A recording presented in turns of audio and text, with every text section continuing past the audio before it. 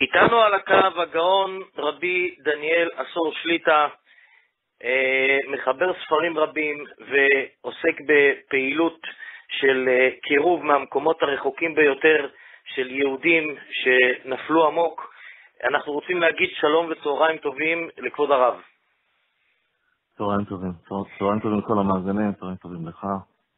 אז אה, בעצם כל מי אה, שמכיר את השם הרב דניאל עשור, מכיר את זה בקשר לפעילות של אה, קירוב במובן האבסולוטי, במובן הכי אה, עמוק שיכול להיות, הכי אולי אפילו מסוכן מצד הפעילות הנועזת שהרב עושה עם דברים, עם אנשים שמאוד התרחקו, שמגיעים עד לעומק הנצרות ומקומות כאלו, אבל אנחנו כאן בכל יהודי מרוקו דווקא מחפשים אה, אה, לתת בפני המאזינים את הדמות של הרב דניאל עשור, שבנקודה אה, ששייכת וקשורה למרוקו. זאת אומרת, הרב דניאל עשור ממרוקו.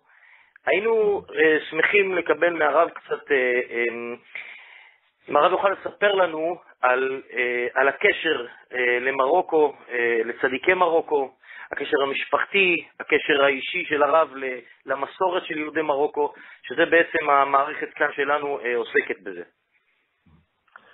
האמת היא שאני אה, זכיתי לראות את הדור הקודם, שזה אה, סבא, רבי דוד עשור. אמנם חי באופקים, ונפטר באופקים בגיל 96, וגם הסבתא, סבתא רחל עשור. באמת, אה, אני, אני יכול לומר שהם, אה, שהדמויות האלה השפיעו עליי מאוד, גם למרות שהתרחקתי מאוד מאוד מהמסורת ומהיהדות אה, תקופה מאוד ארוכה, ועברתי תהליך התבוללות באמריקה, בתור טייס, בתור מדריך טיסה בארצות הברית, אבל תמיד תמיד הדמות של סבא והדמות של סבתא תמיד זה, זה, זה, חזר, חזר על עצמו. אני זוכר את עצמי אה, בגיל שבע, שמונה, תשע, אה, נשלח על ידי אימא אה, ללכת לקחת את סבא לבית הכנסת. וסבא כבר לא היה, כבר קהו עיניו, הוא לא, הוא לא ראה כל כך טוב. זה נשען על הכתף שלי, ומדשדש עם המקל שלו. הדרך הייתה דרך חתחתים, הייתה דרך עם אבנים כאלה. אה, לבית הכנסת בדרך לא סלולה, והוא היה ככה הולך, וכל פעם כשהוא היה עומד ליפול, בגלל שהוא פגש ככה, הוא נתקל באיזשהו אבן או איזשהו מכשול היה, הוא היה אומר שם, בשבילי זה היה איזה מין תעלומה, מה זה השם הזה? הוא היה אומר מולה עירי, כן, ואני לא ידעתי מה זה, אני, אני אמ, אה, רק הבנתי שיש לו איזה מילת קסם שכל פעם כשהוא אומר אותה בתור ילד, אז פתאום הוא מתיישר, הוא לא נופל. ומה הפירוש?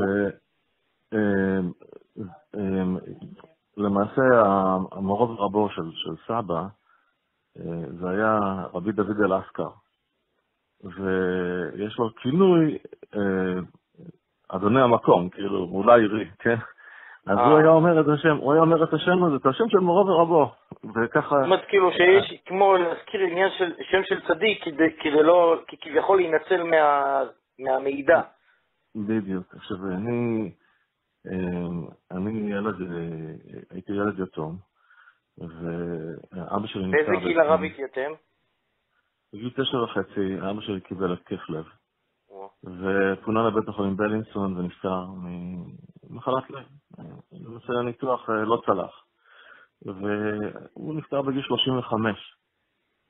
אני הייתי, באותו רחוב שבו גרתי באופקים, הייתי הולך לסבא, והוא יושב בקצה המיטה עם הג'לביה שלו ועם סבא קמנטר ומזמר זוהר בעל פה ומשניות בעל פה, וכשאני הייתי מגיע, אז, אז זה מפסיק, והוא היה, אה, הייתי יושב לצידו, הייתי אוהב לבוא אליו, כי הוא נותן לי, אה, אתה יודע, נותן לי איזה סוכריה, הוא נותן לי ממתק, וגם מאוד אהבתי את סבא. אז הוא אה, שר לי את ספר דניאל, ודניאל באה בן מלכה, עומניאל ואסלתי על כל מדינת בבל. כך הוא כל הזמן לי מנגינות מבית מרוקו, ככה איך, איך הוא קורא את ספר דניאל עם טעמים, ו... גם לפעמים שהייתי לוקח לבית הכנסת. אה, בית הכנסת זה בית הכנסת שאבא שלי בנה אותו אה, בשביל סבא באופקים. ו... מה היה האופי של הבית הכנסת, הרב זוכר? הוא בית כנסת מרוקאי, בית כנסת מרוקאי בעניין. כן. שורשי, עד היום הוא שם. מה שם הבית הכנסת? אור רפאל, לפני כן תפילה לדוד, של סבא, אבא שלי אור רפאל.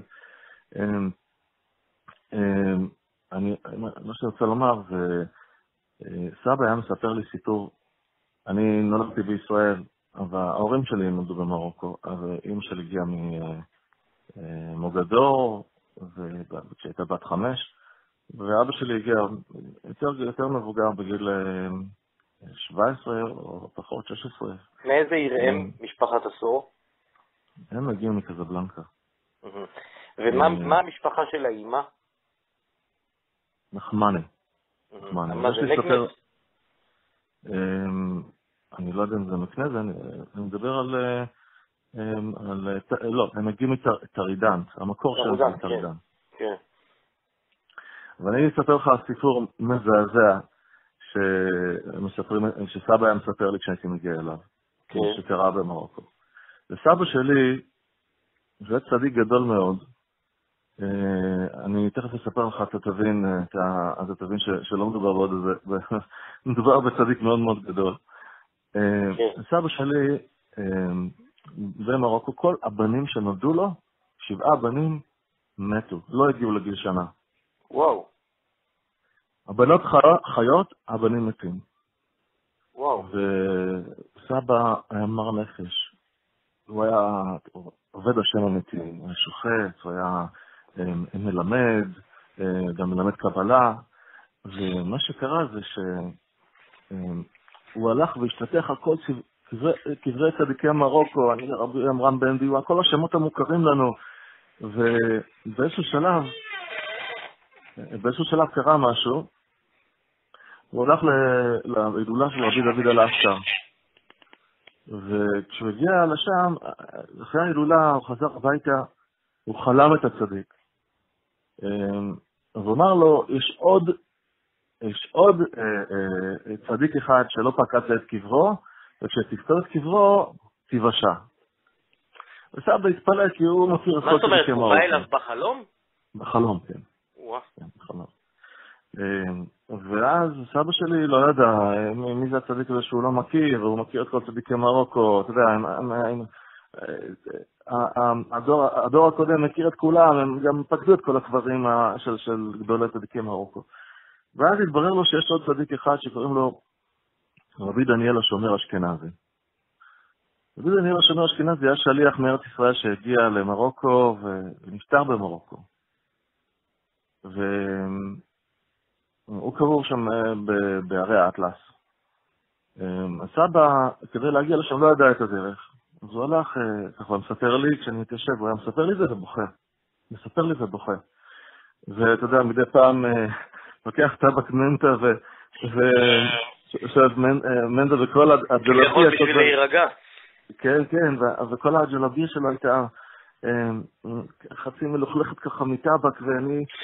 ובגלל ההתרגשות שלו, ואתה יודע, ואני ילד, ואני רואה את סבא, דמות כזאת ענקית בשבילי. והוא מתרגש, אז, אז הייתי יושב ומקשיב לו ככה בקשב רב. והוא סיפר לי שהוא לקח אה, אה, מורה דרך ערבי, הם לקחו חמורים, הוא וסבתא, והם לקחו כבשים מהכפר הערבי, והוא רצה לעשות שחיטה אה, בציון קבר של רבי דניאל השומר אשכנזי. כן, רק אני אוסיף שהרב מדגיש את זה, משום שהיום, בשביל להגיע לשם זה גם לא כזה פשוט, אבל בזמנו זה היה עוד יותר לא פשוט. כי היום אה, כבר סללו קצת פחות או יותר את הדרך לציון של רבי דניאל השומר, ושיפצו שם מאוד, ומקווה, ויש שם הרבה דברים שהרבה הרבה יותר נוחים לגישה. רק הרב מדגיש את זה שעוד בזמנם, עוד שעוד היה חמורים שם, זה עוד יותר היה מסובך להגיע. נכון. כן. עכשיו תראה, אה, מה שקרה זה שכשסבא הגיע לשם, אז הוא בנה אוהל, והיה שם עץ סמוך לציון. אני לא יודע מה, איך זה נראה היום, אבל איך שזה היה אז. אמ, ואחרי שהוא בנה, בנה אוהל שחט, וסבא התחיל לבשל שם, לעשות על האש. הוא הלך לציון והתחיל לבכות את מר נפשו שם, והתחיל לבכות, וזה לא היה מבנה, זה היה פתוח, זה היה הכל פתוח בטבע, זה לא כמו שזה היום. והוא התחיל לבכות שם ולקרוא תהילים, והתחיל לרדת גשם. וסבא התחיל לצעוק לו, תיכנס לאוהל, תיכנס לאוהל. זה כבר התחיל להיות חשיכה, התחיל... סבא, סבא לא הסכים להיכנס לאוהל, הוא פשוט נשאר שם והתחיל לצעוק תהילים, לבכות תהילים. והוא באיזשהו שלב... והרגיש שהשמיים בוכים איתו. כן. הוא הניח את, את המרפק שלו על, ה, על, ה, על הציון, שם את הראש שלו כאילו נרדם על, ה, על הציון, ככה. אם, אם נרתע ולא היה אכפת לו, לא רצה בשום פנים ואופן להיכנס לאוהל. ומה שקרה זה שהצדיק עצמו התגלה אליו בחלום. הוא נרדם ככה. אמ, והוא אמר לו שלא היה צריך להיות לו, לא היה צריך להיות לו בנים. אבל הוא נלחם בשמיים כדי שיהיו לו אה, שלושה, אה, שלושה בנים. וסבא כאילו קיבל בשורה שיהיו לו שלושה בנים. וסבא התעורר, והוא היה כולו רטוב, הוא היה כולו, אתה יודע, הוא, הוא אפילו לא התייחס להם. אחרי שהוא החליף בגדים והתפלל והם התארגנו, אה, אחר כך ככה בצהריים כבר כמעט להתקפל, הם פתאום רואים מסביב לאותו עץ שהיה סמוך לקבר שלושה תרנגולות. אה, שלוש תרנגולות. אה, אחת מהן הייתה ג'ינג'ית, אחת מהן שחורה ואחת מהן אפורה. והם הסתובבו מסביב לעץ, מסביב לעץ, וכשהם, סבא ואותו מורה דרך שנשאר איתם, ו, ו, וסבתא, כשהם התחילו להתקפל, התרנגולות האלה התחילו לרדוף אחריהם. באיזשהו שלב סבא ירד מהחמור, רץ, לנסות לתפוס את התרנגולות, אחד אה, לשבת, לשבת קודש, לעשות שחיטה לשבת קודש, הוא הצליח לתפוס את התרנגול השחור, את התרנגול האפור, הג'ינג'י, סליחה, האפור הצליח לברוח, וזה היה בחצי הדרך, בחצי הדרך מרבי דניאל שמפריד, הם רדפו אחריהם, רדפו אחריהם, רדפו אחריהם, באיזשהו שלב, לא יודע אם בדיוק בחצי הדרך, אבל אחרי דרך, כברת דרך ארוכה. ואבא אמר, סבא אמר ככה, אחד כנגד זכור, אחד כנגד שמור, שיהיה, אה, שיהיה אמ, אה, לשבת קודש. ובאמת אה, מה שקרה זה שנולדו לסבא שלושה בנים, אחד מהם ג'ינג'י, אחד מהם אפור ואחד מהם שחור. אבא שלי הוא האפור. וואו, אבל האפור חזר בחצי הדרך. וסבא שלי, כשאני מגיע, ישר הוא היה בוכה על התרנגול האפור. פשוט מאוד. לא יאומן. מדהים. אה, סיפור ממש שמאפיין את הצדיקים של מרוקו האותנטיים. כן, אה, כן. והוא חי עד גיל 35. 35, הוא כאילו בחצי ימיו. חצי ימיו. אז אה, ממש ככה, כאילו, התרנגול חזר בחצי הדרך, וסבא היה, עכשיו תראה, סבא יושב ליד רדיו, קצה המיטה, זה לא כזה זמן זר בהפה, הוא כבר בקושי ראה, קראו עיניו. אבל אה, היה לו רדיו כזה ישן, אה, אתה יודע, של, של סרבות כזה. כן. מבחינתי זה של הדור הקודם כזה. כן. הוא היה מדליק את, ה, את, ה, את הרדיו כדי לשמוע אה, אה, חדשות בערבי המוגרבי, במרוקאי. ואני התפלאתי מאוד איך הוא היה מההתנהגות שלו. מאוד אהבתי אותו והייתי צמוד אליו, כזה, הייתי בא לבקר אותו הרבה. הוא היה מדליק את הרדיו כדי לשמוע חדשות, איך שהוא מדליק את זה, מיד מכבה. מדליק, שומע את המילים הראשונות ומכבה. הוא לא מחכה בכלל לשמוע חדשות. אז, אז שאלתי אותו, סבא, מה אתה עושה? אתה מדליק, אז תשמע חדשות. אני הייתי מדבר איתו בעברית, הוא היה מבין, מבין טוב, וגם העברית שלו לא הייתה עברית רגילה, הייתה עברית משנתית כזאת, שווה נעימי, בני, ואתה יודע, אה, אה, עברית כן. ספרותית. משנתית כזאת. וערבית, אני מדבר ערבית, אני הייתי אז, בילדות שלי כן הבנתי ערבית, אני היום לא מבין ערבית. אולי אני מגמגם קצת ערבית, אני לא, יש מהזיכרון. אבל אה, אה, כשאני יושב, שאלתי אותו, מה אתה, הוא אומר לי, אה, הדור שלכם, אתם לא מבינים כלום. אמרתי לו, אבל מה אתה עושה? למה אתה לא שומע חדשות? הוא אומר לי, תשמע, אה, אני לא באתי לפה בשביל מה שקורה פה. אנחנו באנו לפה בשביל משיח בן דוד, בשביל הגאולה. אם הוא היה בא, היינו שומעים את זה בתחילת החדשות. או-אה. או-אה. מדהים. אני מספר לך את זה. לא, לא יאומן. ואני זוכר. וזה נותן לי דמעות, כן, כי אני מתרגש מאוד לספר את זה, זה לא... זה דברים לא יאומן. אה, כן. אתם, אה, עד איזה גיל הרב היה בצילו? אני, אה, אני יכול לספר לך דבר מבהיל שאני זוכר, שבמו עיניי ראיתי. כן. אני בגיל 16 וחצי, סבא שלי כבר היה על ערש דווי. אני פתאום הייתי אצל, הייתי אצל הדודה שלי ושמעתי שסבא על ערש דווי, והלכתי, הלכנו, לב... הלכנו הביתה, לבית של סבתא. כולם היו שם, כל המשפחה באה. סבא היה איש, איש ענק. סביבו התאחדה המשפחה. והגיעה חברה קדישא. חברה קדישא, הם אמרו לנו, תשמעו, יש לו כבר ריל תסיסה, והוא... נשארו לו רק שעה, שעה וחצי לכל היותר לחיות. וזה היה בשעות הבוקר. עשר, עשר בבוקר, משהו כזה. אני הלכתי, הייתי אצל, הדודה שלי אפילו, הייתי מרבה ללכת אליהם. ו, ופתאום, וזה, וזה נמשך, ונמשך, ונמשך. וסבא נפטר רק ממש ממש בשעות הערב המאוחרות. ומה שקרה זה שהוא לא נפטר ולא נפטר, אנשי חברה קדישא ישבו איתו בחדר, והם לא הבינו, כאילו, מה, מה קורה, למה, מה, למה, למה זה לא נמשך הלאה, הוא ממש כבר על סף בין חיים ומוות. עד שהגיע אליו איזה תלמיד חכם אחד, שהיה ביניהם איזשהו סכסוך ארוך של שנים. אה, זה תלמיד חכם, כאילו, אה, כביכול פסל את סבא. הוא לא היה, הוא היה שופט, ולא לא מטעם המוסדות, מוסדות השלטון, אז אותו רב כאילו, כאילו פסל אותו. כן. אז, אז עד שהגיע אליו אותו, אותו צדיק, תפס לו את היד וביקש ממנו סליחה. ואחרי שהוא ביקש ממנו סליחה, ממש, אני יכול לומר לך, דקה אחרי זה סבא נחזיר את נשמתו הטהורה לשמיים. ואנחנו ראינו את זה, הבנו שהיה שם, הוא היה קשור, אותו רב היה קשור לרשויות, ולא הכיר שתהיה שחיטה של, של, שהיא לא קשורה לרבנות. שחיטה פרטית. בדיוק. ו, ואז סבא החזיר את נשמתו הטהורה לשמיים. אני זוכר שבלוויה שלו ירד גשם שוטף, גשם שוטף.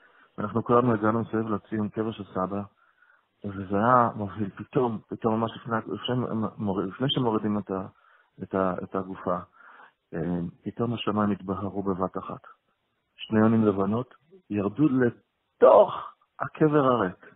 וואו. לתוך הקבר הריק. כולנו ראינו, ופתאום כל מי שהיה מסביב עשה, וואו! וזאת הייתה, זה היה כאילו, זה מין צעקה כזאת של כל האנשים שהיו שם. הם, הם נכנסו פנימה לתוך. לתוך הקבר עצמו הריק, ועלו משם הש... לש... לשמיים. עלו משם ככה בטיסה כלפי מעלה. ממש לפני שאנשי חברה קדישא, הם, הם חפרו, כבר אחרי שהם המשיכו הלאה, כאילו להכין את הקבר, ואז פתאום שני, הם עלו משם, שני יונים לבנות ירדו לשם, ומשם עלו מעל לכל האנשים, מעל הראשים של כל האנשים. זה היה נראה כאילו כל השמיים בוכים יחד איתנו. ועם הגשם הנורא הזה שהיה שם נרתמנו עד העצמות. ואז באותו רגע אה, אה, שני ימים הנבונות אה, נכנסו ועלו, ואז סבא, הכניסו את הסבא לקבועה. הרושם של, שזה השאיר עליי בתור ילד, אני יכול לומר לך, תשמע, אני עברתי המון דברים, אני התרחקתי מעם ישראל, לצערי. הייתי, התבוללתי בארצות הברית, והתרחקתי מאוד מהשורשים שלי, אבל אני גם טבלתי לנצרות לצערי. אמ, וכשחייתי שם והייתי מגיע לכנסיות, אבל הדמות של סבא רצחה אותי. איזה אה, סיטואציות כשהרב נמצא במקומות כל כך רחוקים, איזה תמונות עולים לרב ב, אה, בזמנים כאלו? אני מספר לך. אני אה, הייתי בקיא בברית החדשה, למדתי נצרות בארצות הברית, התחתנתי עם לא יהודיה, ועם נוצריה, וחייתי רחוק מאוד מאוד מהיהדות, מהשורשים שלי. אה, אה, זה היה, אני סיפרתי לך על הילדות, אבל אני כבר הייתי אז בגיל שנות ה-30, גיל כמעט 32 בערך. וסבא הופיע, הופיע לי בחלום, אני, אני, אני טייס, אני אדם, אדם שמתעסק עם טכנולוגיה מתקדמת, אני מתעסק עם, למדתי באוניברסיטאות בארצות הברית, ו... אה, אה, לי מטוס פרטי, אני הטסתי עם מטוסים, שמונה רישיונות טייס מסוגים שונים, אה, כולל רישיון מסחרי ו complex airplane ו multi engine airplane, כל מיני סוגים של רישיונות. instrument flight rules, טיסת מכשירים, טיסת אה, ראות, ואני חזרתי באחד מהימים ככה עם הקסדה שלי ועם הסרבל טיסה שלי משדה התעופה, מלמד טיסה ואני מגיע הביתה. מכוון את מיטת המים שלי ככה 95 פרנהייט, ככה שיהיה לי נעים לישון, אחרי מקלחת טובה נכנס לישון. אני לבד, באותו, באותו לילה, באמצע, באמצע הלילה. אני רואה את סבא מולי, וזה לא היה חלום. זה היה כאילו, אני הייתי אומר כאילו... להקיץ. בוא נסביר את זה, זה, זה סוג של חלום, אבל, אבל זה לא חלום רגיל. מישהו חצה את הגבול, חצה את הקו האדום בין העולם הזה לעולם הבא. ואני אני הרגשתי רעדה בכל הגוף, והדופק הגיע ל... אה, אה, אה, זה היה משהו מזעזע, אני פשוט התעוררתי כולי מזיע, והבנתי שאני רואה מישהו שחצה את הקו מעולם האמת. אני אגיד לך מה אני רואה, אני רואה את הפרופיל שלו, הוא מדבר איתי והוא לא מוכן להסתכל לי בפנים. אמרו לי, אתה רוצה שיהיה לך טוב בחיים, אתה רוצה שיהיה לך טוב בחיים, תקום עכשיו, תשרוף את הספר הזה, תקום עכשיו. אני האמנתי בברית החדשה, אני התבלבלתי בדרכים. והתעוררתי, ואני רואה, אני, עם, עם, עם, עם דופק נורא, והרגשה שאני כאילו עומד לנפוח את נשמתי, הנשמה עומדת לעשות מהגוף. הבנתי שזה לא חלום רגיל. איך אומרים? ותתפעם רוחו, ותתפעם רוחו. אמרתי, אבל, אמרתי לעצמי, אה, שטויות, עזוב, חלומות, חלומות שווא. נכנסתי עוד פעם למקלחת. אה, אה, הכנתי לעצמי אה, כוס קפה, ישבתי ככה עם הרגליים על השולחן כמו שאני רגיל, הדלקתי את הטלוויזיה ושוב פעם אני ככה מנסה להירגע, להחליף איזה, חזרתי חזרה לישון. אני רואה, אחרי שנרדמתי אני רואה את סבא עוד הפעם. ושוב פעם, הוא רדף אותי. אני, תאמין לי או לא, אני התעוררתי בפעם השנייה עם דופק ועם זיעה ועם צמרמורות, והבנתי שזה לא חלום. שזה לא חלום רגיל, זה, זה לא חלום שאני אני בן 32, לא חוויתי אז, אז, אה, אה, אף פעם חוויה כזאת.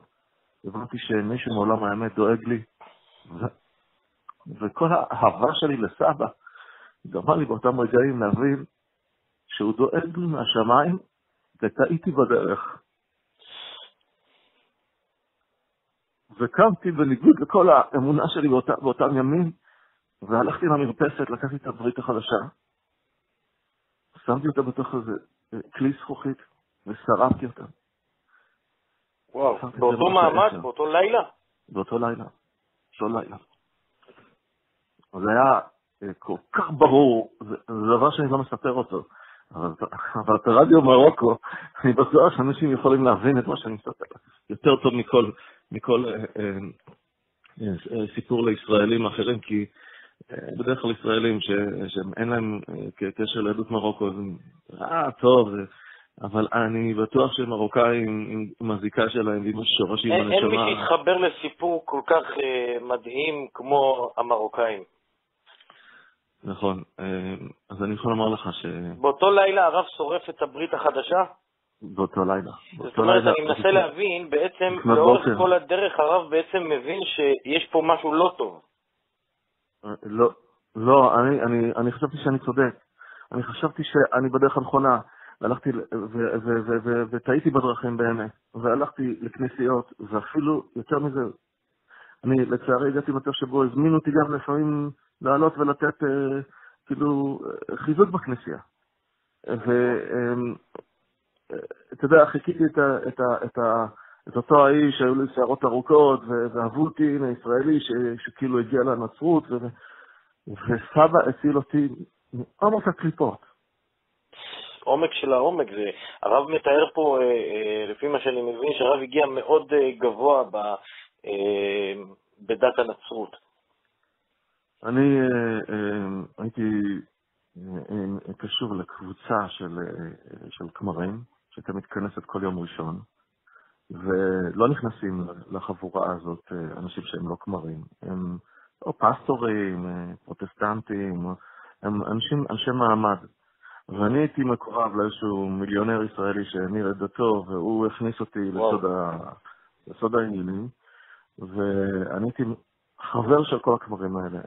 באיזה עיר זה כל הסיפור הזה? פלורידה. פורט לורידר, נורת מיאמי ביץ', סאוט ביץ', מיאמי. בכל האזורים האלה הייתה, הייתי אז... כן, הכנסייה שהייתה זה בנורט מיאמי ביץ'.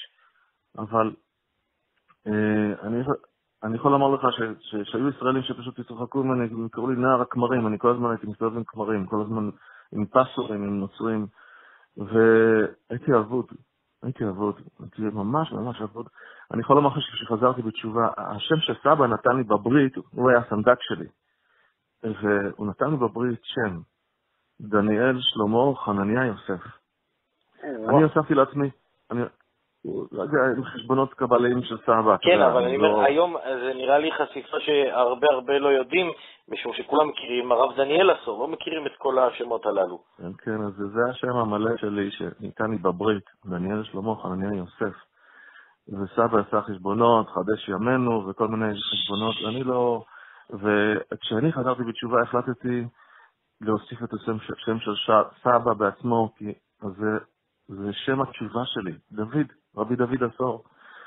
והוספתי לעצמי שם, דניאל שלמה חנן יוסף, דוד, על שם סבא. כאילו לא די לנו בכל השמות הללו, עוד הרב אה, זה מסירות נפש ללכת עם כל כך הרבה שמות, בגלל שכל פעם צריך, אה, סתם טכנית, בכל מקום צריך לכתוב את כל השמות הללו. אז תראה, אני אגיד לך, אה, האמת היא ש... הרב עולה לתורה, הרב עושה מי שברך, אז כל פעם... אז uh, לפעמים uh, uh, אני עולה לתורה ואני אומר את כל השמות, ולפעמים אני עולה לתורה ואני לא אומר את כל השמות, זה מאוד דניאל שלמה, כי אני נבוך, אבל, אבל, אבל זה השמות שנתנו לי. אני לא יודע מה החשבונות של סבא, אבל אני מאוד מאוד הערכתי את הדמות הזאת. אני יכול לספר לך דבר אחד, אחרי שחזרתי בתשובה והגעתי לארץ, קרה משהו, אה, כבר נולדו לי ילדים. אה, רק שנייה, הרב, שנייה אחת, הרב עצר בשריפה של הברית החדשה, משם מה אוקיי. קורה? הרב משנה אה, כיוון או שהסתפק בשריפה? לא, שם התחלתי לבחון מחדש. שם זה היה כבר, בוא אני אגיד לך, מה זה אומר לבחון מחדש? הרב מוריד פרופיל, הרב הולך למקום, יש, הרב יודע לאיפה ללכת, לבדוק, הולכים לבית כנסת, לאיפה הולכים, מה עושים משם? אספר לך, אני אספר לך. תראה, אני, אה, היו שני שלבים, שני שלבים קריטיים בחזרה בתשובה. שלב אחד, אה, אחותי התחתנה עם אה, כומר שהתגייר, והוא בעצמו הפך להיות רב פה בישראל, ואחרי שהוא... אנחנו מכירים אותו? מה השם שלו? הרב יהודה פרץ. הוא היה מרצה בערכים הרבה שנים, חתום חוזה איתם.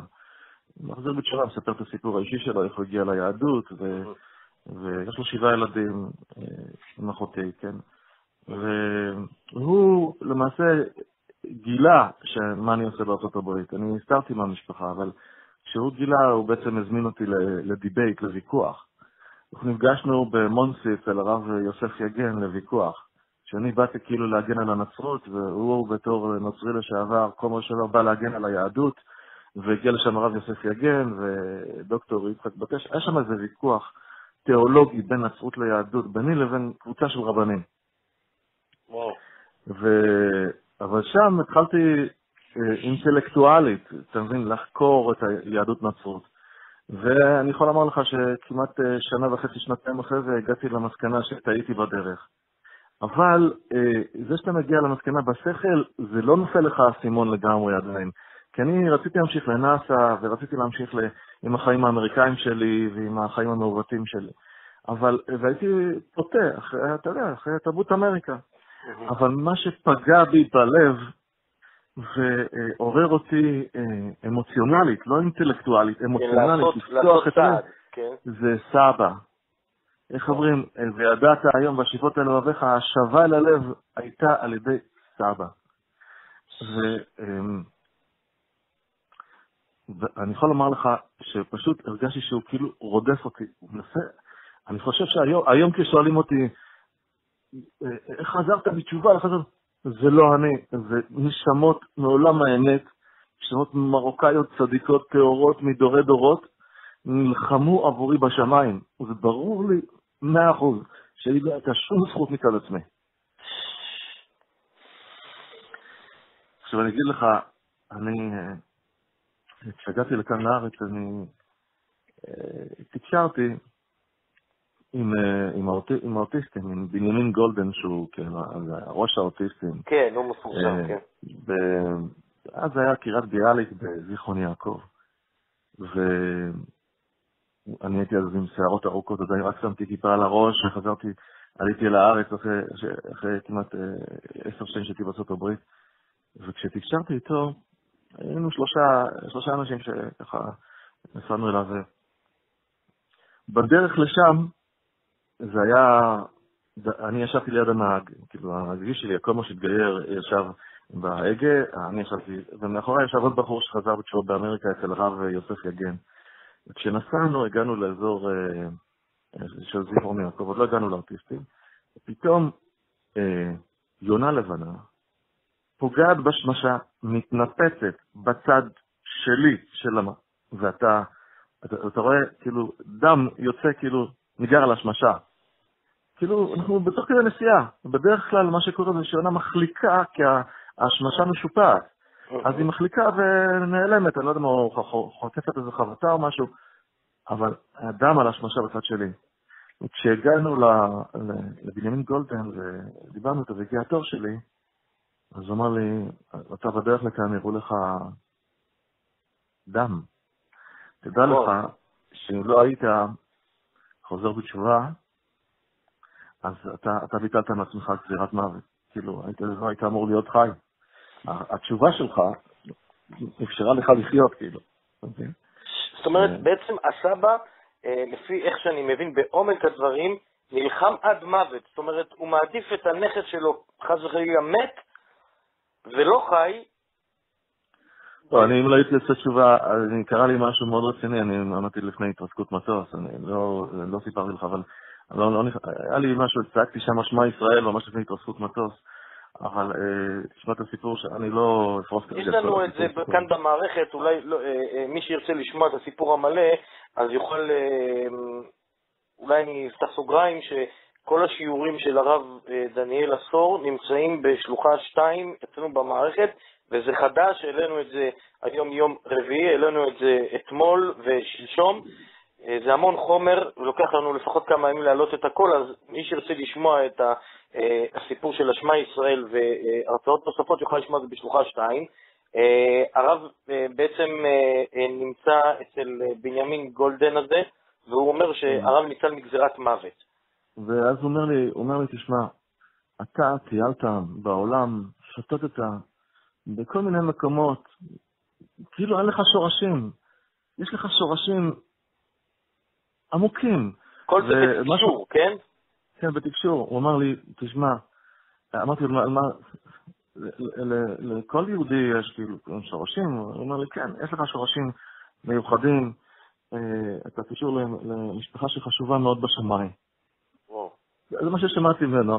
אה, אה, נורא התרגשתי לשמוע הוא אמר, הוא אמר, סוף כמו איזה כאילו כדור בכל העולם, אני לא אמרתי לו כלום, אני באתי, התיישבתי ותקשרתי איתו. הוא אומר לי, אתה צריך להיות מחובר לשורשים שלך. הוא אומר לי עוד משהו, הוא אומר לי, תדע לך, שאתה עכשיו מגיע מהעולם המודרני, מהעולם, מאמריקה, שוטטת בעולם, אבל אתה תצטרך לעבוד קשה מאוד. הסבים שלך, כל מילה שלהם נחשבה בשמיים. הם היו תמימים, הם היו צדיקים, אתה תעמול שנים, אולי, אולי תגיע לצדיקות ולתמימות של, של, של הדורות, הדורות הקודמים. הם דורות תמימותם, כל מילה שלהם נחשבה בשמיים. כשהוא אמר לי זה, אתה יודע, אני, אני נכנסתי מדמעות, כי גם, גם עכשיו שאני מדבר איתך, זה, זה לא... איך הרב קיבל את הדברים? אני הייתי נפעם, כי אני אגיד לך גם למה. כשאני הגעתי יחד עם, ה, עם, ה, עם הגיס שלי, אני שמעתי את התקשור שלו לפני כן עם הכומר שהתגייר, שגר אז בתפרח. והוא אמר לו, תראה, אתה גר עכשיו רחוק מהציוויליזציה בכפר קטן בדרום, אבל תדע לך שאשתך סובלת מאוד, היא קשה לה מאוד עם זה. אתה רוצה להתרחק מהציוויליזציה, אתה רוצה להתרחק ולהתקדש ויותר, אבל תתייחס לרגשות של אשתך, כי היא מאוד מאוד מרגישה מנותקת. הוא לא היה יכול לדעת את הדברים האלה, אבל אני לא אומר לך ש... תקשור עם האוטיסטים זה כאילו נבואה בשברי כלים, כי אנחנו בגלות, אז אתה יודע, שכינתה בגלות, אז... אבל זה היה התקשור, וזה שיר עליי הרבה רושם. אמ, לימים אחר כך לקחתי גם את אשתי לתקשר איתו, כי היא הייתה, אשתי אשכנזייה, ו... ומשפחה מאוד רחוקה, מאוד רחוקה. רגע, אני רוצה להבין, אה, זה זה אישה נוספת או האישה שהתגיירה? לא, לא, אני, אני התגרשתי בארצות הברית. אה, זה גירושים שלא תופסים מבחינה הלכתית. כן, לא- כמו שהנישואין לא תופסים. נכון, וכאן בארץ התחתנתי בעלת תשובה. אה, הבנתי. ממוצא אשכנזי. וכשהגעתי לבנימין גולדן, אז הוא אמר, אתה יודע, והיא מוזיקאית, היא מנגנת על ויולה, הייתה כאן באקדמיה למוזיקה בירושלים. היא באה ואומרת, אני לא מבינה, אני חזרתי בתשובה, אז אני מטטלת, מחתלת, מה... אה, אז, אז הוא אמר לה, תראי, אה, ארבע, לפני ארבע דורות, הדורות הקודמים שלך עזבו את היהדות, הם היו חסידי ברסלב. וואו. הם היו קשורים לרבי נחמן, והם עזבו עם, עם ראשית ההשכלה. אה, ארבע דורות, יותר, קצת יותר. ו, ואת, חזרת, את הראשונה שחזרת מה, מהמשפחות האלה, האבודות האלה, ש, ש, שאפשר לקחת מספריים ולגזור אותם מהשושלת של, של שושלת הדורות של עם ישראל, שממש ממש התרחקו. אבל תדעי לך, את יודעת, את שואלת, את, את קיבלת כל מיני הכשרות באקדמיה, אה, למדת באוניברסיטה, ו... אבל תדעי לך אה, שהילדים שאת מגדלת, את לא יודעת את מי את מגדלת. אם היית יודעת את מי את מגדלת, את מחתלת ומטטלת, את מחתלת ומטטלת נשמות שיצילו את כל הארבע דורות האלה שנעלמו מעם ישראל. על הילדים שלכם, הוא מדבר. כן, כן, כן. וואו. ואם יש לך עסק יותר טוב, אם יש לך קריירה יותר טובה, בבקשה. אז, אבל, אבל זאת הקריירה הכי טובה. הילדים שלך עם התורה והמצוות והבית היהודי, שאת תקימי, של שמירת תורה ומצוות, בקדושה וטהרה עם בעלך, הם יצילו את כל הדורות שנעלמו מהשושלת שלך. אני לא חושב שיש לך קריירה יותר טובה מהקריירה הזאת. ואיך היא מקבלת דברים כאלה בתור בעלת תשובה, או עדיין לא חזרה בתשובה, שעדיין המושגים ולהעריך מילים כאלה, איך היא מקבלת את זה? היא קיבלה את זה, כי כבר קיבלה תשובה, שאתה יודע, היא טובה, אשתי אמנם אשכנזייה, אבל היא מרוקאית בנשמה. היא... חבל הזמן. מה שאנחנו קוראים לזה חסידות, זה, זה הצד השווה שבין המרוקאים לחסידים, זה הנקודה החסידית. אה, יש לי לגלות לך סוד, סוד גדול בעניין הזה. אתה, אתה מראיין רדיו מרוקאי, אני אגלה לך את החסידות המרוקאית, יש לי סוד גדול לגלות לך. אה, אבל לפני כן, אני, אני אגיד לך, אה, הוא, הוא פנה אליי, הוא אמר לי, תדע לך, אמרתי לו, תראה, אני שואל על אבא שלי, בפעם הקודם כששאלתי אותך, אז, אז אני רוצה לדעת איפה אבא שלי, מה קורה עם אבא שלי, איפה נמצא בשמיים, מה קורה איתו, כאילו דאגתי, כי הוא אמר לי, תשמע, אתה התרחקת מאוד מאוד מאוד וגרמת סבל, זה אבא שלך, אז שאלתי אותו, הוא נורא נורא שמח בפעם השנייה שהגעתי אליו, הוא אמר, אבא שלך נמצא במקום גבוה, אתה עשית תשובה עילאה, קיבלו את התשובה שלך בשמיים. עכשיו, תראה, לא היה כתוב לי על המצח שאין לי אבא כשהגעתי לפעם הראשונה. ישר הוא אמר לי, תשמע, תבין, אבא שלך בשמיים, הוא, הוא בצער גדול בגללך. ובפעם השנייה, כשהגעתי אליו, אז הוא אמר לי, אבא שלך שמח בשמיים, הוא נמצא במקום גבוה מאוד. לפני שהרב שאל, בעצם, אה, אה, שהרב רוצה לדעת, בעצם הרב לא אמר לו שהרב רוצה לדעת מה... תמיד, תמיד, אה, כשהגעתי לבנימין גולדן, הוא אמר לי דברים לפני ששאלתי. לא, אבל בפעם הזאת, הפעם הזאת כן שאלתי. בדרך כלל כשהייתי מגיע אליו היום, הוא פשוט מתחיל לדבר. אבל הפעם הזאת הוא, הוא פשוט, שאלתי אותי, כי זה נורא כאב לי, מה ששמעתי.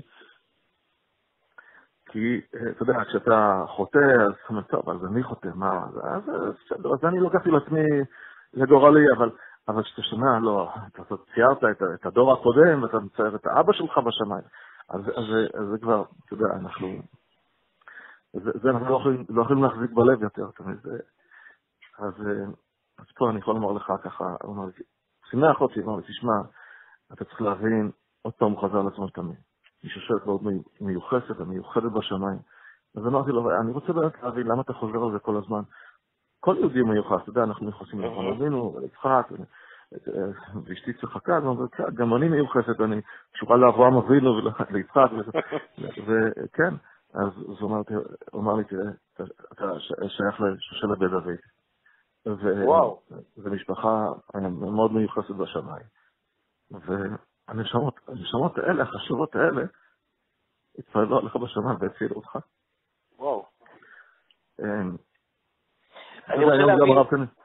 גם הרב קניאצקי אומר את אותו דבר היום, הוא אומר שאנשים שחוזרים לתשובה, אה, שחוזרים לתשובה בדור שלנו, שטיינמן אמר את זה כמה פעמים, אה, שחוזרים בדור שלנו זה באמת בזכות אבות. כי מעוררים אותם לשמיים, את הרוב הזה לאלה, אה, לפעמים לא... זה, זה נשמות בשם שנלחמים על המשפחות שלהם, שינצלו, שלא יעלו על סרטון במהלך ההיסטוריה האנושית כל פני האדמה. וינצלו, להחליט האמת. אז הם דואגים להם מלמעלה בשמיים. זה לא, זה לא שהם נפטרו וזהו, אתה מבין? עכשיו, אני, אה, רוצה לספר לך משהו. רק שרציתי לדעת אם יש קשר בין השם של הרב דניאל לבין אה, חכמי מרוקו. בוא אני אגיד לך משהו, כן, ודאי. אני נקרא על שמו של רבי דניאל השומר אשכנזי, ש, אה, שבזכות, בגללו קרה המקרה הזה, סבא היה הסנדק שלי והוא קרא לרבי דניאל. אבל יש עוד משהו, כשאתה יורד מרבי דניאל, זה, זה בגובה, אתה יורד לעמק שם, יש שם איזה נאות מדבר, אה, של איזה ציון קבר של אה, רבי שלמה בן חש, כך קוראים לו. כן. היה איזה סיפור עם איזה נחש, אני לא יודע מה הסיפור שם, אני, אני בעצמי לא, לא כל כך, יכול להיות שהשומעים, המאזינים כבר יודעים לספר את הסיפור שלו. ולכן סבא קרא לי דניאל שלמה, כי מי שאבן הקרא של הרב דניאל השומר אשכנזי אתה, יורד לציון איזה אולי מרחק של שעה בערך הליכה. רבי אה, שלמה בן חש.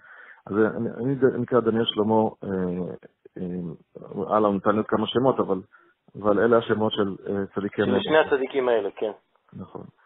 אני אה, שאלתי את עצמי ככה הרבה פעמים, הרבה פעמים מה הסבא, אה, ככה, הרי אולי, אולי היה קשור, אולי הוא לא הכיר את הצדיקים האלה עד, עד לפני, כנראה שבגלל שהוא לא הכיר אותם, והם היו שדרים ושליחים שהגיעו מארץ ישראל, והם נקדרו במרוקו ומסרו נפשם, אה, אתה יודע, הם היו באים לעשות מגביות כספים, הם צדיקים גדולים. אה, אני רוצה להגיד לך דבר אחד על, על יהדות מרוקו. קצת קטן. יש ספר גם מצד האמא שלי, אנחנו, אני רק אומר לך שאנחנו משפחת נחמני. משפחת נחמני, הייתה איזו כתבה שהתפרסמה בידיעות אחרונות של איזה תחקירן שעשה תחקיר על משפחות נחמני.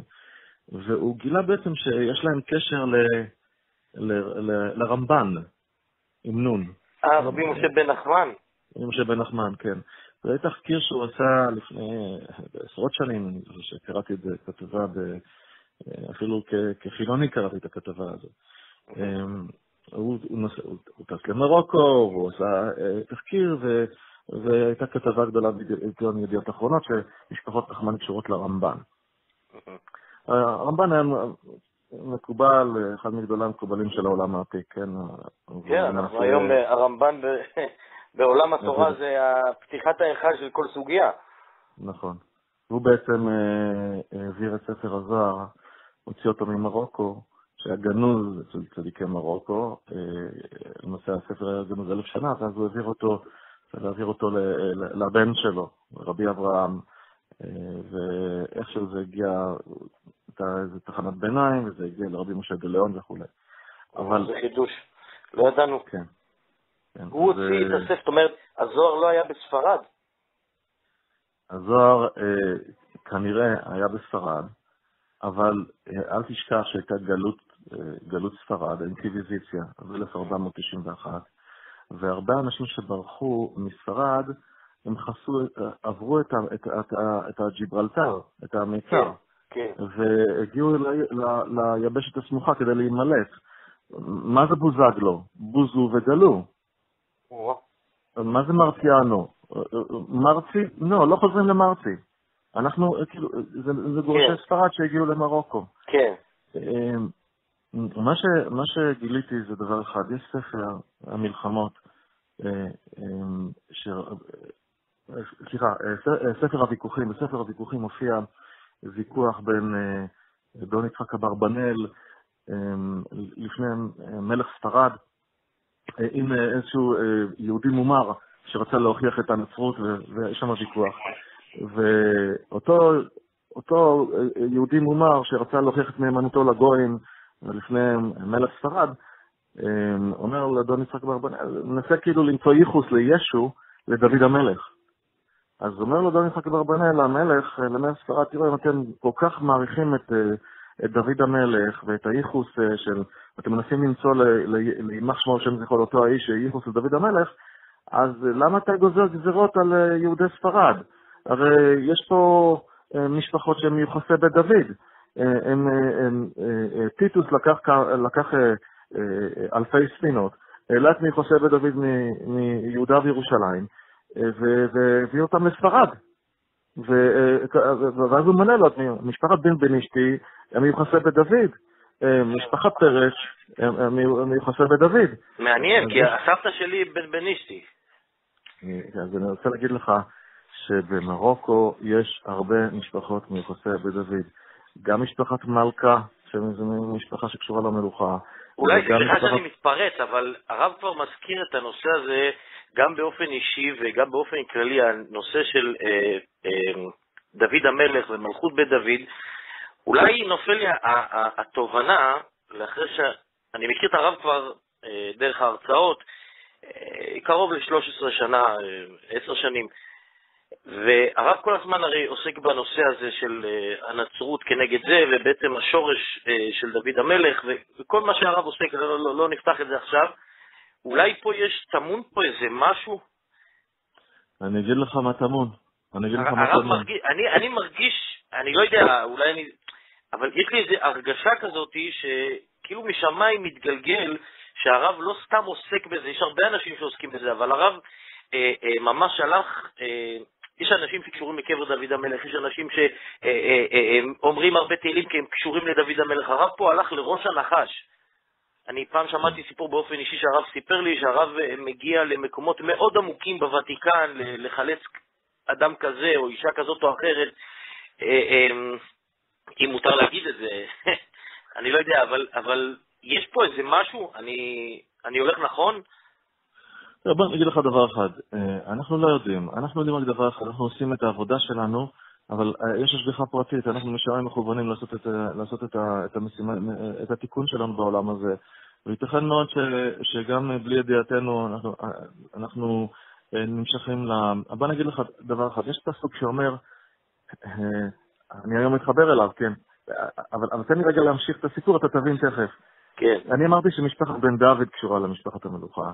ויש לי גם סבתא שהיא בן דוד. נכון, משפחת, משפחת, אה, אה, גם משפחת עשור, וזה מה שהתחדש לי, שגם סבא כל הזמן, שהייתי, הם הזכירו לי, האוטיסטים הזכירו לי דבר אחד, וסבא אמר לי, תזכור, אנחנו משפחות בית דוד. אני, אתה יודע, שנים אחרי חזרה בתשובה, והוא עצמו קראו לו רבי דוד. נכון, כשפתחתי את התהילים, אז אני יכול להגיד לך, יש את פסוק שאומר, אה, אה, בנבל עשור הזמרה לך, הנותן תשועה למלכים, הפוצע את דוד עבדו מחרב רעה, תצאני והצילני מיד בני נכר, אשר פיהם דיבר שווא, וימינם ימין שקר. אני אגיד לך משהו, אני מסתכל בתור, בתור בעל תשובה שכתב ספר על פתחה של רומי, חלק א' וב' נגד הנצרות. וספר אה, שמראה את כל הסתירות באסלאם. אגב, זה ספרים עבי כרס, זה 800 דפים, לא? אה, הספר אה, יש אלוקים, שהוא נגד האתאיזם, הכפירה, וחושף את הקונספירציות של אנשי הרשע בעולם, ממשלת הצללים, הוא 800, 854 דפים. אבל יש לי חלק א' וב', כל ספר הבדיחה של רומי נגד הנצרות, וכל ספר בערך 550 אה, דף. אה, יש לי ספר על האסלאם, על כל הספירות בקוראן של המוסלמים, שהוא גם כן משהו כמו 600-700 אה, דפים. הספר, על פתחה שלו, מתורגם לאנגלית והופץ באמריקה. יש לי ספר שנקרא חמשת אבני הקלע, שהוא כנגד חמשת הכתות המפורסמות בתל אביב, להראות את העליונות האווירית. בתל אביב? להראות אוויר אוויר, כן. בתל אביב? יש כתות, כן, כן. כן בתל אביב? בתל אביב. טוב, זו שיחה בפני עצמה. אה, אז הרב עצר בזה שהרב פתח את התהילים, הפוצע דוד עבדו. פוצע דוד עבדו מחרב רעה, יצאני והצילני מיד בין הנכר אשר פיהם, השקפת עולמם, אשר פיהם דיבר שווא, וימינם ימין שקר. אז אני נקשרתי לשם עשור מתוך ספר התהילים, נבל עשור, אה, עשרה, אה, התיקון הצועלי, עשרה מזמורי תהילים. אה, פתאום התחלתי לגלות את השורשים, אבל להבין שבעצם השם עשור הוא לא, אה, כמו לא, שאמר לי. סבא, זה קשור לבית דוד, איפשהו, מי שעורר אותי, השיחה עם בנימין גולדשברג, שמע, אבות אבותיך יצילו אותך, הם יפריעו עליך בשמיים, זה לא כל כך פשוט, זה לא בזכותך, אל תחזיק טובה לעצמך, זה, זה, זה מאבקים, מאבקים על זכויות בשמיים, כשיש זכויות לכלל ישראל, איזה, איזה משפחה תקבל ואיזה משפחה, ומי ינצל, אתה מבין? ו, אה, ולמעשה מצאתי את עצמי מתוך הגורל שלי נאבק כדי להציל ככה אה, נשמות אבודות, מתוך הנצרות, מתוך הכתות, מתוך הכפירה, אז הגיעו לכל מיני מקרים. אז הקמתי את, את המרכז להסברה יהודית למניעת התבוללות והמרת דת, והתחלתי לקבל מקרים. אמ, אז קשור. גם משפחת עשור, כמו משפחת מלכה, כמו משפחת בן דוד, משפחות בית דוד בסופו של דבר ברחו, והצדיקים שבהם עזבו את הכל ואת כל רכושם ומסרו נפש ולא הסכימו לחיות כנוצרים, ב, אה, אה, כמרן או כאנוסי ספרד, אה, שבגלוי הם נוצרים ובמרתפים במרתפים הם חיים כיהודים. לא, הם לא הסכימו לזה. הם פשוט ברחו ממרוקו, מסרו נפשם, עזבו את כל רכושם, ומרציה, נו, ובוזו וגלו, ועזבו את... בדיוק, ועזבו את, איך קוראים לזה? את, מרוק, את ספרד והיגרו למרוקו. אני רוצה לגלות לך סוד קטן. אה, אה, שבט יהודה, זה בדרך כלל הרי יהודה איבד את, ה... איבד את שני העולמות. הכישרון של יהודה זה תשובה, זה כוחה של תשובה. אה, הוא איבד את שני העולמות, עם הסיפור של מכירת יוסף, ועם זה שהוא ערב את בנימין, ו... אה, ובכלל גם הסיפור של תמר, אבל אה, אחרי שהוא ירד למטה, למטה, למטה, איך אומר, איך אומר אריגל, הוא קרא את הבטן של הספרה אחת, הוציא את שני ניצוצות של פרץ וזרח מהספר האחה שנפלו עם חטא האדם הראשון, וכך בעצם צמחה מלכות בית דוד. היהדות מרוקו, כמו שאני תמיד אומר שהג'רבאים זה כהנים, התימנים הם לוויים, הם, הרבה מהם לוויים. יהדות מרוקו זה, זה, זה מלכות בית דוד, יש שם גילוני מלכות, וחלק מהנגינות אה, ומהמקאמים שהיו בבית המקדש, נשמרו כי תמיד תמיד הנגינה הייתה קשורה למלכות בית על המלכות. דוד המלך עם כינור ונבל, כן, נבל עשור הזמר הלך. ותמיד זה היה קשור.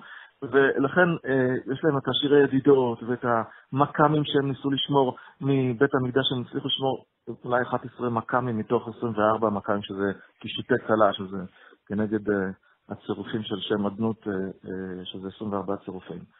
אבל אה, יש לך את הרבי דוד בוזגלו ואת השיר ידידות, אולי לא קצת דברים... עכשיו נופל לי איזו תובנה של למה יהודי מרוקו כל כך דבוקים בנושא של השירה והפיוט. היום זה הגיע נכון. למקומות של אה, פולקלור מאוד אה, שונה, אבל בשורש, לפי מה שהרב אומר, אני מבין שזה מקום מאוד עמוק וגבוה, אה, זאת אומרת, קדוש וגבוה. מאוד, כי בסופו של דבר, הבוחר בשירי זמרה, והקדוש ברוך הוא בחר בשירי זמרה. חזקיהו מלך יהודה רצה הקדוש ברוך הוא אותו משיח, אבל הוא לא אמר שירה, אז הוא לא היה משיח. צריך לומר שירה לפני הקדוש ברוך הוא. הוא בוחר בשירי זמרה, ודוד המלך נבחר כי הוא בחר בשירי זמרה. אה, אה, אה, הייתי אומר ככה, האינטליגנציה האמוציונלית הזאת, המפותחת הזאת שיש ביהדות מרוקו, אם לוקחים אותה לכיוונים הנכונים ולא לכיוונים השליליים, אז היא מגיעה למקומות של קדושה עילאה, של שירה לקדוש ברוך הוא, והתמסרות ומסירות נפש לקדוש ברוך הוא, והיא מגיעה למיסטיקה. כי היא מגיעה למיסטיקה, היא מגיעה לתורת הקבלה שהייתה גנוזה בקרב יהודי מרוקו, מספרד למרוקו, אמ, וצריך להבין, גם חלק משבט, חלק משבט לוי שהיה מבולל בכל, בכל השבטים האחרים, כן? הגיע גם לשם. עכשיו, אני אומר לך עוד משהו. אה, יש ספר שנקרא, אה, סליחה, אה, אני לא זוכר, זלמן שזר, נשיא מדינת ישראל. כן. הוא הלך וטייל בכל הגנזכים של כל הקהילות ברחבי, ברחבי העולם, משתדל כמה שיותר. וכשהוא הגיע לווינה, אז הראו לו שם מסמכים לקהילה שהם קשורים לשבט בנימין. בעיקרון, בכללי, אני לא אומר את זה, בכללי, יהדות אשכנז היא קשורה לשבט בנימין. אה, שבט יהודה ובנימין, עליהם נותרו מכל השבטים, עשרות השבטים גלו בבית ראשון. אבל יהודה ובנימין אה, אה, ולוויים וכהנים נותרו ביהודה, זה מלכות יהודה. אבל בסופו של דבר, יהדות אשכנז היא יותר קשורה למה שנקרא משיח בן יוסף ולשבט אפרים, שבט בנימין. ויהדות מרוקו יותר קשורה לשבט יהודה, לכן הם יותר בעלי תשובה, הם מתרסקים והם חוזרים חזרה בתשובה, ויש להם את כוח התשובה. אה, אתה יודע, המגף הציוני דרך עליהם חזק מאוד, אבל בסופו של דבר הנשמות האלה, לא משנה כמה אתה מוריד אותן לסטרה הן תמיד חוזרות חזרה, כמו יהודה, זה אותו אפקט של להקים עולה של תשובה. ו... אמ, ואילו, אתה יודע, יהדות אשכנז הם פשוט אה, כמו הוא זאב, הוא לא, לא קורע ולא משתחווה, ואפילו לא בגלות, והוא לא משתחווה לעשו, והוא לא, הוא צדיקים אפילו בגלות כמו בנימין. אבל זה סוג של, כמו יוסף שהיה צדיק במצרים. אז מבחינת, מבחינת יוסף, ויש פה מבחינת, מבחינת דוד, מבחינת יהודה. ואני מתעורר לזה מתוך האמירות של סבא, מתוך התשובה שלי ומתוך מה שנאמר לי. ואני רוצה לספר לך על סבא שלי משהו אחד. המשפחה שלי, יש אה, חתן של סבא, שהוא היה חילוני, ממשפחת ממן, מתחתן עם הבת של סבא, אחות של אבא שלי. והוא היה רס"ר ב... ב... שלא, אמנם לא, לא שומר מצוות, אבל אה, לא אה, דתי, אבל, אבל מכבד מאוד מאוד מאוד את סבא. הוא מגיע בתור רס"ר, אתה יודע, במשמר הנגב, בסיס לוגיסטיקה, כזה, אתה יודע, אריה, וכולם נמסרים למשמעתו, נטיל מורה על כל הבסיס, ו... אבל הוא היה מגיע ביום שישי לנקש את העשבים לסבא, כדי שסבא לא ידוח על עשבים כשהוא הולך בדרך לבית הכנסת. וואו. והוא מתבטל אליו בצורה מדהימה. ויום אחד קרה משהו בבסיס. קרה שם משהו, היה שם איזה מישהו שהתאבד בכלא שם. והאשימו את המשפחה שלו האשימה את הרס"ר. אה, שהוא כנראה, לא יודע מה, פחד ממנו, לא יודע מה, או כל דבר אחר. והוא פשוט אה, הגיע לסבא והתחיל לבכות, אמר, אני אפילו לא מכיר אותו, אני לא יודע אני לא זוכר שעשיתי לו משהו, אני לא זוכר ש, שקרה משהו ביני לבינו, אולי בצורה עקיפה דרך המפקדים שלו, הם הטילו עליו מורה, ואני לא מכיר אפילו את החייל הזה, אני לא יודע על מה הם מדברים בכלל, מאשימים אותי כאילו שהוא התאבד בגללי, ויש לי משפט בבית הירוק בתל אביב. אז למעשה, סבא בירך אותו. אבל כשהם יצאו משיירה של קצינים עם הג'יפים שלהם לכיוון הבית הירוק ביום המשפט, הם החליטו ללכת לבבא סאלי. נכנסו, הקצינים האלה נכנסו לבבא סאלי. אנחנו מדברים על בבא סאלי חי. חי, כן, לא בסאלי חי. נכנסו בבוקר לבבא סאלי. ואותו רס"ר התחיל לבכות לבבא סאלי שאני לא עשיתי שום דבר, ומשהו אותי, ואוי ואבוי מי אני, אני אצא השם, ויהיה משפט לא, לא צודק, אז, אז יושיבו אותי אה, שלוש שנים, חמש שנים, אני לא יודע כמה, ואני בצרה. אז שאל אותו בבא סאלי, הבן של מי אתה? לא, תראה, אני החתן של רבי דוד עשור. אה, אתה, אתה חתן של רבי דוד עשור? אז, אתה, אתה, הגרזן החזק, הוא חבר. הגרזן החזק. לך, אל תפחד, תצחק לשופט בפנים. וואו. תצחק לשופט בפנים, אל תדאג, לך. ואותו אה, אה, דוד שלי, שהוא בעצם, אה, כן, נשוי לדודה שלי, הלך יחד עם כל הקצינים, עם כל הג'יפים, לא יודע מה, מה זה לפרוק לו שבוע בפנים, אבל, בבא סאלי אמר, אבל בבא סאלי אמר לפחות לו שבוע בפנים, איך אני אצחק לו בפנים?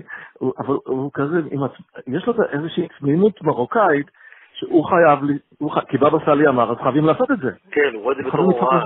אז מה נעשה, איך נצחק? זה לא המלצה, זה מה שצריך לעשות, ככה מרוקאים. זה מה ש...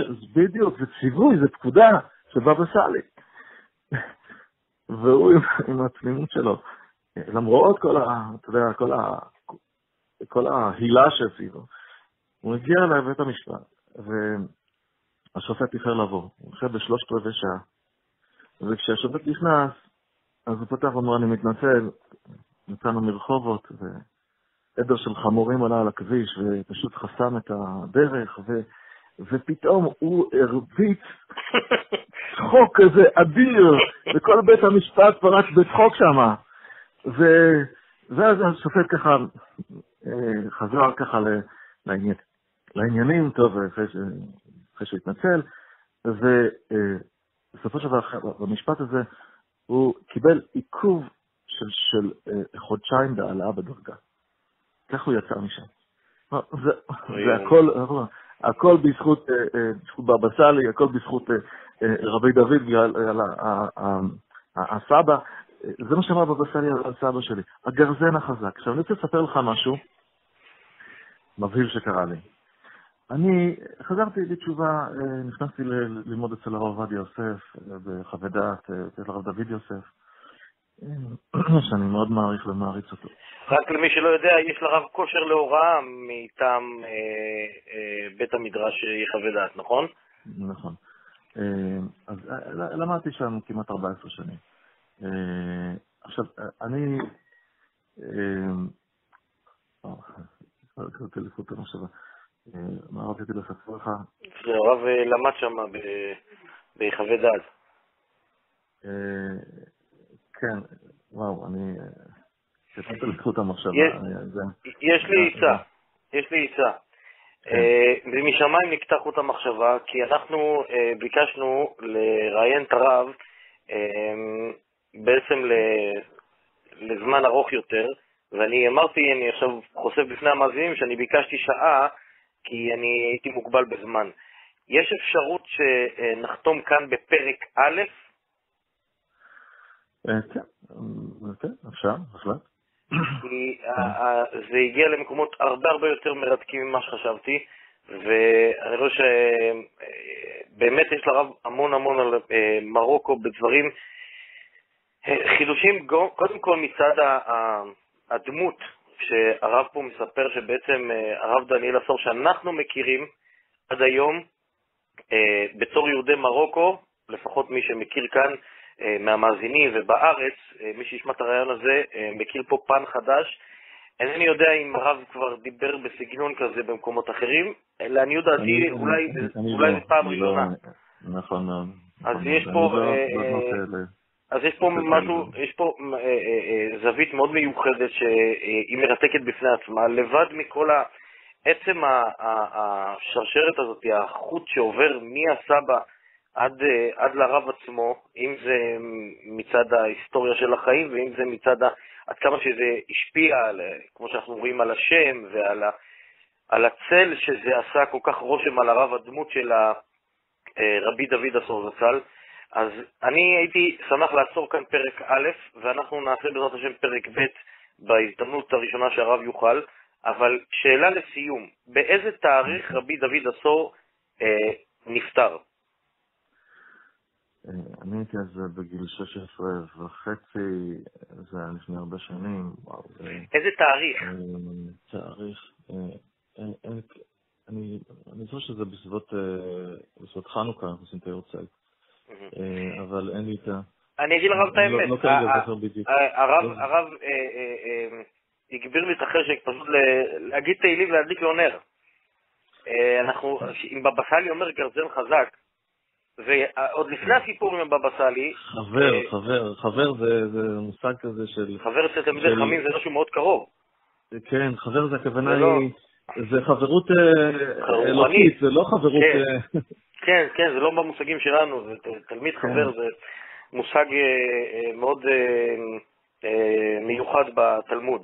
עובדים ביחד על ביטול גזרות בשמיים, זה לא. זה, זה מושג אחר ממה שאנחנו מכירים, חבר, חבר שלי, אני שותה איתו קפה, לא, זה לא ככה, זה... לא, לא, ממש לא. אז אני רוצה לפחות בפרק הזה לבקש מהמאזינים, כל מי ששומע את הריאיון הזה, אנחנו אה, לפחות נכיר טובה לסבא בפרק א', וכל אחד שידליק נר אה, לכבוד נשמת רבי דוד אה, עשור, דוד בן, בן אסתר. בן אסתר. אה, זכר צדיק קדוש לברכה, ומי שגם יכול ללמוד או לקרוא תהילים אה, לכבוד נשמתו, ואני בכוונה אומר לכבוד ולא לעילוי, כי אה, אצל צדיק ודאי שזה מעלה, אבל יש גם עניין של לעצור את הכבוד. אם זה אדם סתם, אנחנו אומרים לעילוי נשמת, אבל לצדיק זה מעלה את נשמתו, אבל אנחנו מבטאים את זה בלכבוד. אז הרושם שלי, אה, אני קטן, אבל הרב מספר פה דברים מאוד גבוהים, מאוד גבוהים.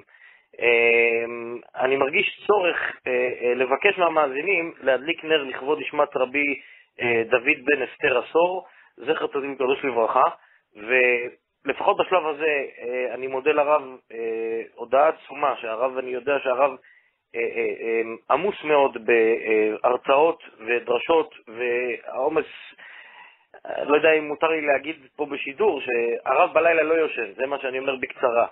אה, מ- מ- מ- בשעות הלילה שאנחנו יושנים הרב לא יושן. אה, אז אני מודה לרב מאוד על הפרק זמן שהרב הקדיש לנו, ואנחנו מבקשים אם אפשר שנוכל לראיין פרק ב'. רק אה, אני אזכיר לרב שעצרנו בנושא של יחווה דעת, אה, ואנחנו נשמח לשמוע עוד דברים על יהדות מרוקו, ואם נוכל אה, לחבר את זה אה, בסופו של דבר לכל הנושא שהרב מדבר עליו, שבעצם הוא נותן פה אה, אה, אולי, אה, אולי הייתי קורא לזה, זה לא כותרת או, או, או, או, או הצל של כל השיחה הזאת, ברור זה יהדות מרוקו, אבל הרב איכשהו הגיע לנקודה מאוד אה, מרכזית במציאות שלנו היום בנושא של גאולה. ואני, הרב התחיל עם הסיפור שהסבא היה פותח את הרדיו, ומשיח בן דוד, משיח בן... חושב שהמשיח מגיע. זה מאוד טלטל אותי בתחילת הריאיון, כי אה, הרב פתח דווקא עם הסיפור הזה, בזמן שהרב יכל- להתחיל עם ביוגרפיה פשוטה, מאיפה הרב נולד וכולי, הרב התחיל עם... הפתיחה הזאת הייתה מאוד מטלטלת. אז אה, אולי זה אות מן השמיים שצריך להמשיך בכיוון הזה, אז אנחנו נשמח אם הרב יסכים אה, לראיון פרק ב'. בעזרת השם. אתה אומר שזה מה שטלטל אותך אה, בשיחה, זה מה שטלטל אותי בילדות. אה, מה, כאילו, מה חשוב לסבא? מה, מה הוא רצה? כאילו, מי הם הדור הקודם הזה? מי, איפה אנחנו ואיפה איפה אני הייתי? מה היה חשוב לי בתור ילד? ומה היה חשוב לסבא הגדול הזה? זה, זה, כשהוא מדליק את הרדיו, מה לשמוע? הם, הם ודאי יגידו את זה בהתחלה, וודאי, ודאי, ובשביל זה הוא בא לפה, בשביל הגאולה, בשביל, בשביל, בשביל אה, אה, אה, משיח בן דוד, בשביל בית המקדש, בשביל מלכות שמיים, בשביל... פשוט מדהים, מדהים, מדהים. אני פשוט... כולי צמרמורת מהסיפור הזה, חוץ מהסיפורים מה, שגילו את הדמות שלו, מה שהרב מספר כאן עם החלום ועם התרנגולות, והדברים התגשמו אחד לאחד אה, במציאות, שעד גיל 35 התרנגול האפור וכולי, ושהוא פשוט רדף את, את, את, את הרב בכל, אם אפשר להגיד את זה ככה, בכל התקופה באמריקה. יש פה, אנחנו מתעסקים פה עם צדיק, אנחנו מגלים פה שהרב קשור באמת לצדיק אדיר, ש, ש, שבעצם זה מה שאנחנו כאן במערכת מנסים להנגיש לציבור המאזינים, שחכמי מרוקו יכלו, אם היום יספרו שרב פתח רדיו, אז uh, פתח, יגידו, אה, אז הוא שומע רדיו. Uh, יש פה מעשה אחר לגמרי. הוא פותח רדיו, לא, אני בטוח שרדיו, לא, זה היה בשבילו אמצעי לשמוע על המשיח, זה חיבור של שיא הגשמיות עם שיא הרוחניות. אני חושב שזה סיפור מטלטל של שם, זה, זה מזכיר סיפורים על, על, על גדולי ישראל הגדולים ביותר שהיו מחכים ל, ל, ל, ל, ל, ל, לשמוע כל שופר, שופרות של משיח. אני רוצה להגיד לך רק דבר אחד, אני אה, באמת לא רוצה, אה, אנחנו נסיים פה, אבל אני רוצה להגיד לך דבר אחד, אני בדרך כלל נותן, נותן הרצאות, אבל אני לא דומע ולא אה, עומד על סף בכי ולא עם מחנק בגרון ולא תחושה של וואו, אני מתפרץ בבכי. ברעיון הזה כשסיפרתי, פשוט אה, זה דברים מאוד עמוקים ואישיים מככה מהילדות ומדברים שכל כך, הלב שלי כל כך מחובר אליהם, שאני פשוט גם כמעט נתתי להתפרץ בבכי ברעיון הזה, וגם דמעתי ברעיון הזה תוך כדי שיחה איתך, וגם מאוד התרגשתי. אז אה, תודה לך על, על, החשיפה, על ההזדמנות, על ה... טוב, אז אנחנו, אז אנחנו, אה, טוב, זה מה ש... ככה הקדוש ברוך הוא גלגל את זה, אבל שהרב ידע שהרבה מאזינים, אה, אני, אני רואה גם, אנחנו רואים את הנתונים של ההאזנה, מהיום שהעלינו, מתמול, שלשום, היום יותר ראינו את זה כי נתנו הודעה בעדכונים, שהעלינו שיעורים של הרב עשור, ההאזנה הכפילה את עצמה בשלוחה של הרב, וחשוב שהמאזינים יכירו את הפן הזה שהרב בעצם גילה כאן אה, בכל הריאיון הזה. אז כמו שאמרנו, עד כאן פרק א', ואנחנו נשמח לתאם עם הרב אה, פרק ב'. אז אה, ברכת יישר כוח. ברוכים תהיו, יישר כוח. תודה רבה לכל המאזינים ולך על ההזדמנות. תודה רבה, להשתמש. יום טוב. תודה רבה.